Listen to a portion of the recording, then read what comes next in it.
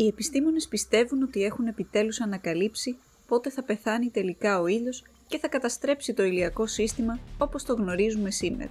Φυσικά δεν χρειάζεται να ανησυχούμε από τώρα, καθώς το φλεγόμενο αστέρι μας θεωρείται ακόμα πολύ νέο, οπότε τα νέα είναι προς το παρόν καλά για εμάς.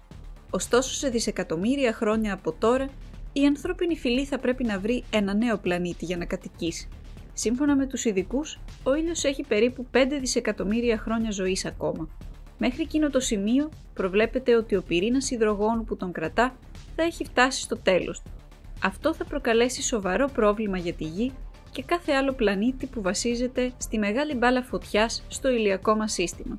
Όταν συμβεί αυτό, ο ήλιος θα μετατραπεί στην ουσία σε έναν κόκκινο πλανήτη και θα είναι πλέον ανίκανος να παράγει οποιαδήποτε θερμότητα. Ο Ερμής και η Αφροδίτη θα είναι οι πρώτοι πλανήτες που θα καταστραφούν αφού θα καταποθούν μόλις τα εξωτερικά στρώματα του ήλιου γίνουν ασταθή και διασταλούν. Από την άλλη, η Γη θα δεχτεί δυσάρεστους ηλιακούς ανέμους.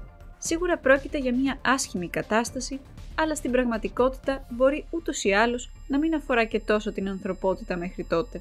Όσοι μελετούν το διάστημα έχουν ήδη προβλέψει ότι θα έχουμε να αντιμετωπίσουμε άλλα προβλήματα σε ένα δισεκατομμύριο χρόνια από τώρα, δηλαδή πολύ πριν πεθάνει ο ήλιος.